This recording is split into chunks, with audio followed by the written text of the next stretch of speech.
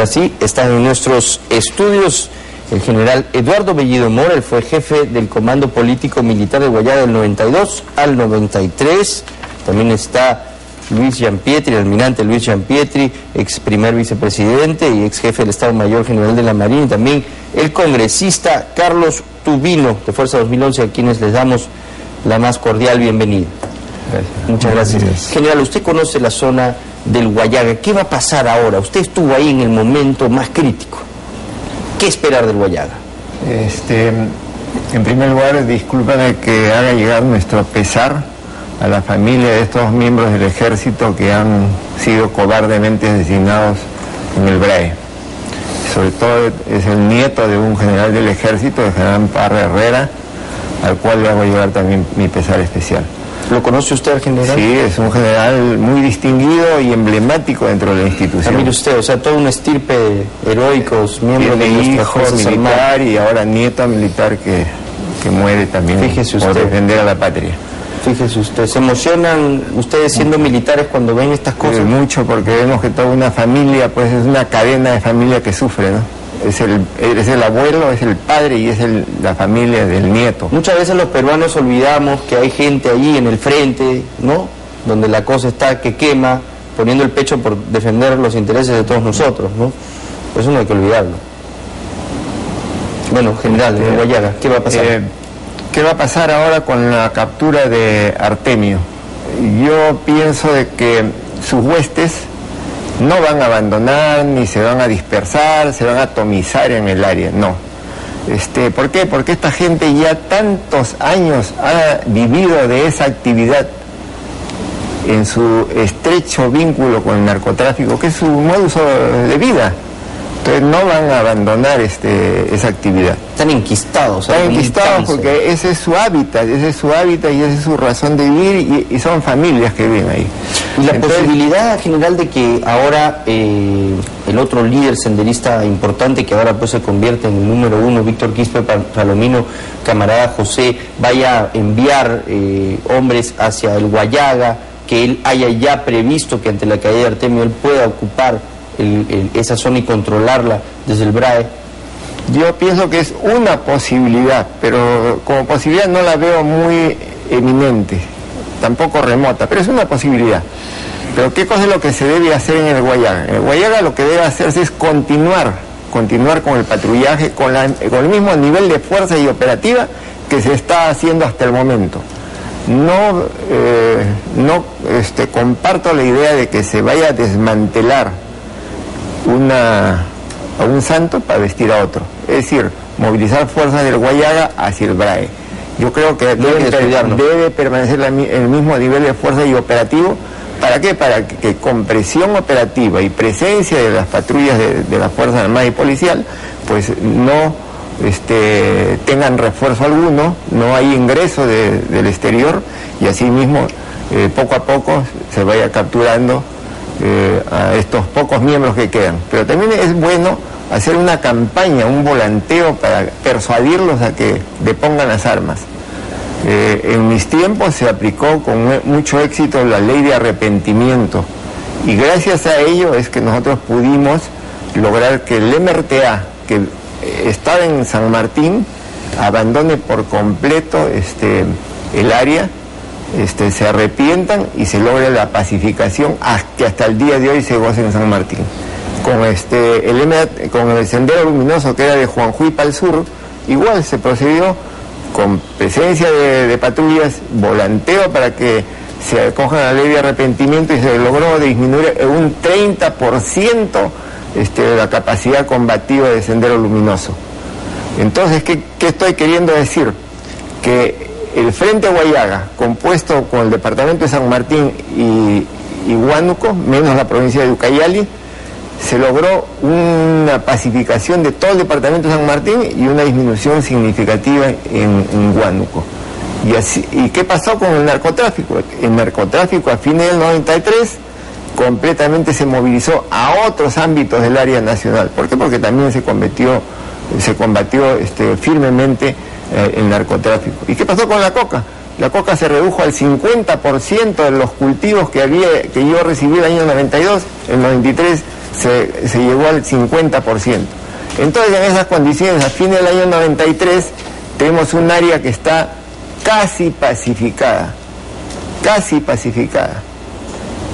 Pero ha habido pues años en la que no hubo esa decisión política de continuar ese nivel operativo y nosotros sabemos que fueron recortados los presupuestos, fueron disminuidos los efectivos, fueron replegadas bases, entonces este, eh, Guayaga vivió todavía una situación de, conflicto.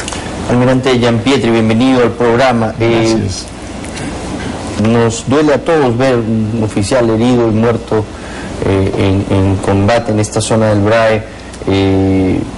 Eh, es, un, algo que debe preocuparnos, estamos descuidando ese frente. Yo creo que tengo que unirme a lo expresado por el general Bellido.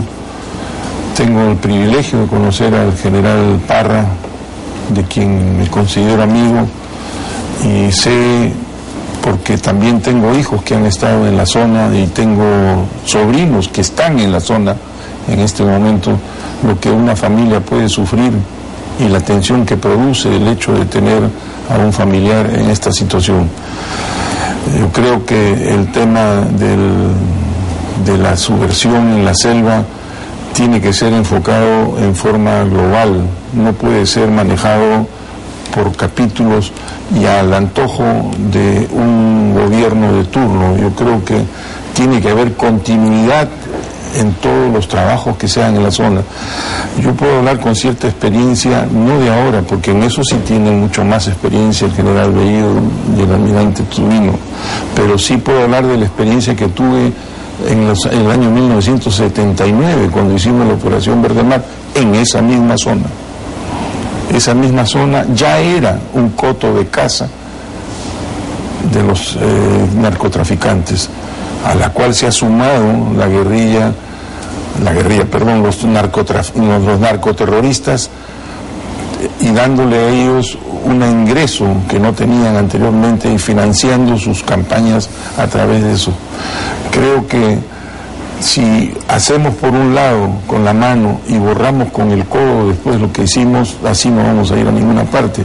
Tiene que haber constancia y pasarse de un gobierno a otro la estrategia como debía haber sido y no comenzar a desarticular, porque hay que entender una cosa, la gente piensa que las bases, por ejemplo, contra guerrillas son un elemento militar. Sí, es cierto, son un elemento militar, pero lo más importante de las bases no es lo militar, es el contacto con la población, el ganar la voluntad de la población, el ganar el afecto de la población, ayudarlos de alguna u otra forma de manera de tener como retribución la información de inteligencia que es el núcleo básico de cualquier operación de este tipo.